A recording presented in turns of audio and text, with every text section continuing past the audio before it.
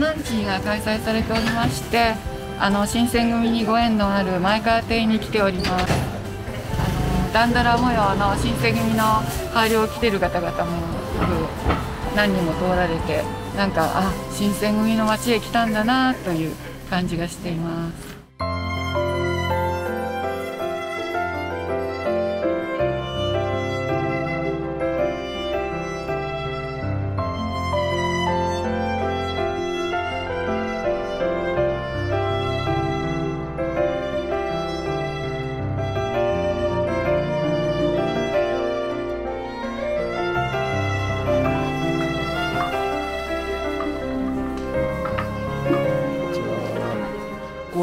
あれですよ。新選組のみんなが暮らしてた場所ですから。だから彼らは暮らした場所に今こう足を踏み入れてるわけですから、はい、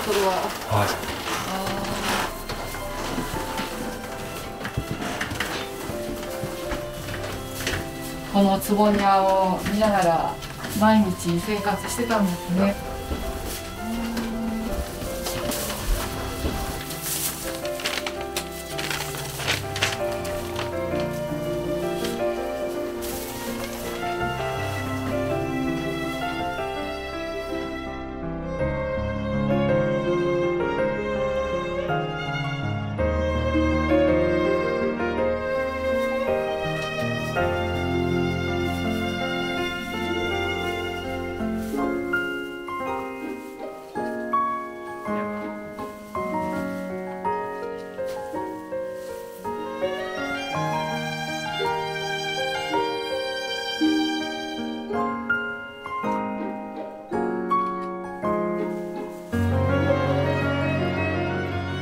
まさにあそこのはい。祭壇があったお部屋ではい。切腹したあ場所なんですよ。は今日は、はい。あのとっても華やかな桜と菜の花いそうですね。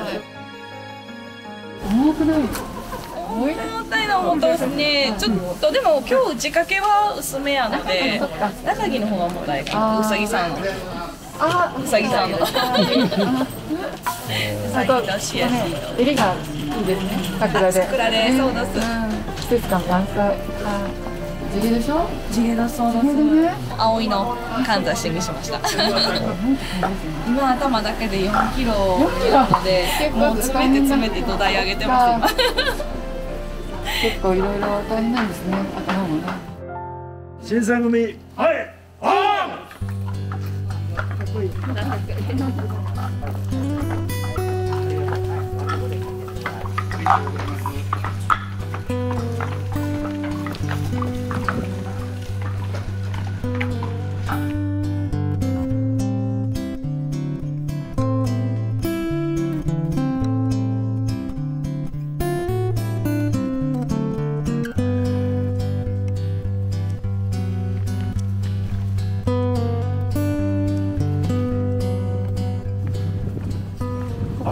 ねあのーあれですよね。今度土方そうですね。さんの銅像が7月に出来上がる、7月に、はい、公開に。楽しみですね。はい。はい。わあたくさんの人が来てますね。あもう中どんどん入ってますね。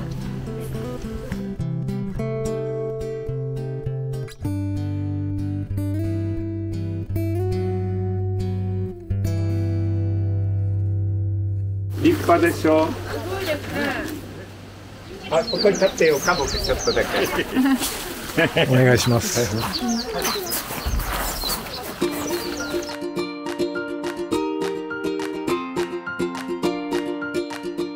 私あの土方歳三大好きだったんで ありがとうございます。すいません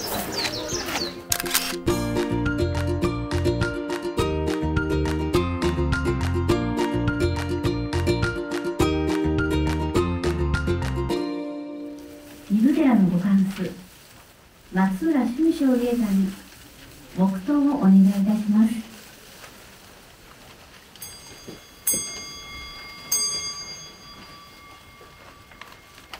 黙祷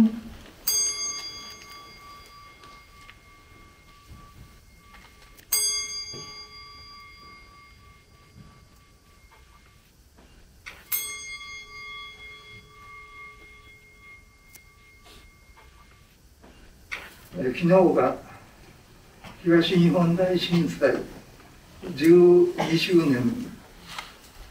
でも12年経ってまあいろんな意味で復興に向けて動いている様子も昨日も拝見いたしました。あのますますこれからみんなで力を合わせて、えー、素晴らしい日本が帰ってくるように願っております。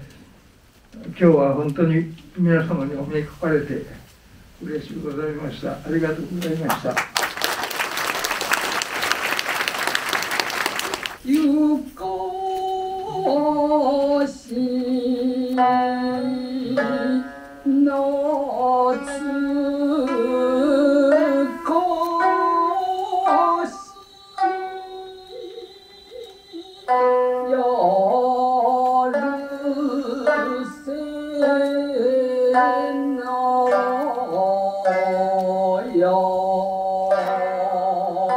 つ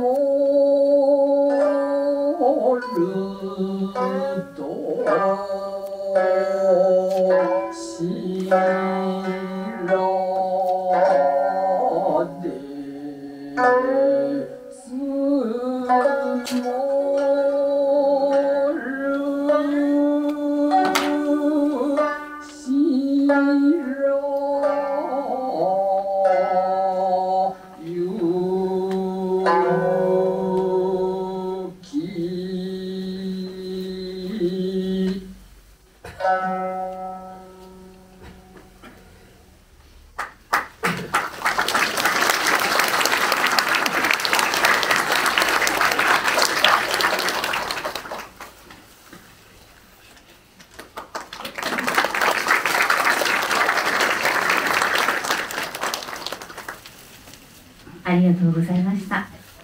どうも、こんにちは。2年ぶりです。おととし、ここで、あの、共演させていただきましてね、本当に早いもので、昨年はちょっと、あの、事情があって、お考えできなかったんですけれども、姫国軍で立ち向こうその眼先へ手袋を投げ報いは無用と言い切ったる。騎士その時に姫を見捨てぬね、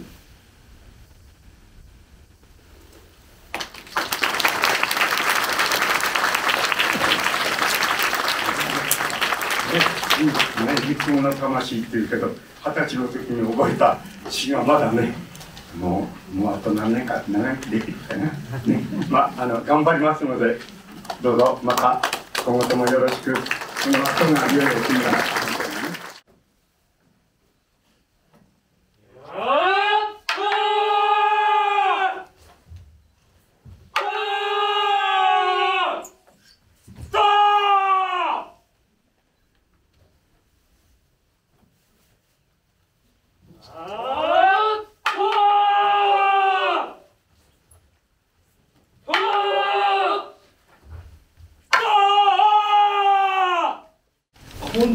ですね、えー私の勤務する霊前歴史館の、えー新選組資料のお話をさせていただこうと思います。まあ、上位誰と計らん不意の老、まあ、不意の老というのはですね、まあ、感触についていない、まあ、自分たちのような者たちでですね、まあ、上位を行おうという意味になります。この部分、上位というふうに、えー近藤が書いております。まあ、新選組や近藤勇といえばですね、まあ、尊王攘夷派の志士を多数切ったというイメージが強いんですけれども、まあ、近藤も、えー、上位思想の持ち主になりまして、まあ、新選組ももともとは有志で上位を行うことが目的の集団だったということです。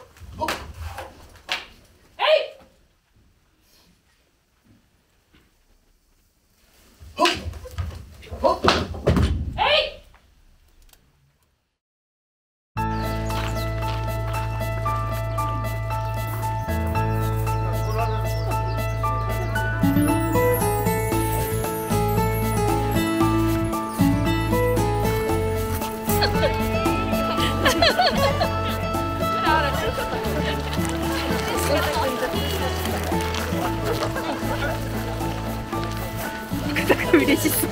可愛いい。嬉しいね。あの互いにね頭大きくて。お互いにお互いに大きく。一緒に太陽の横にこれかトリプル肘が。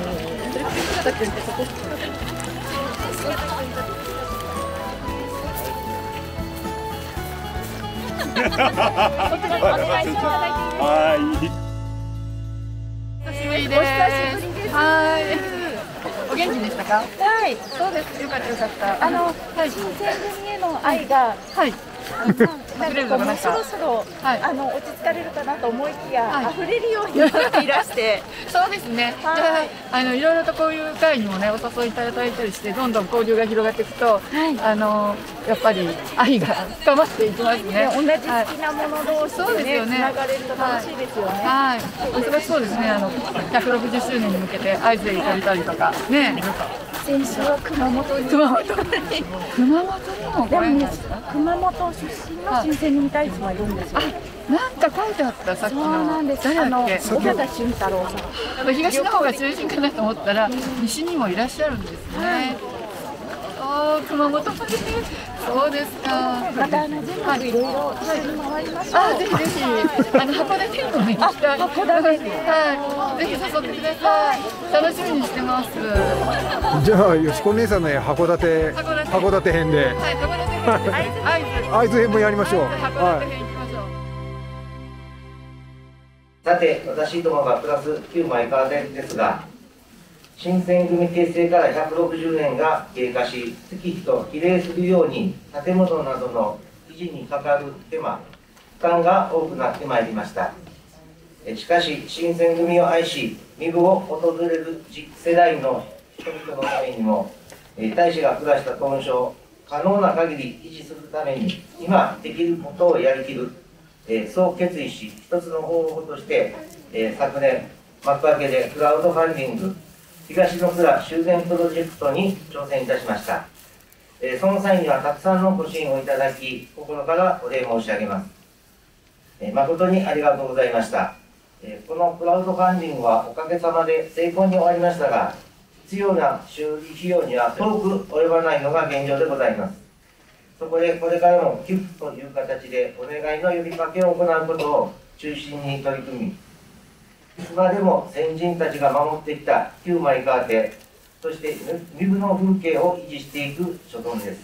どうかご協力のほどよろしくお願いいたします。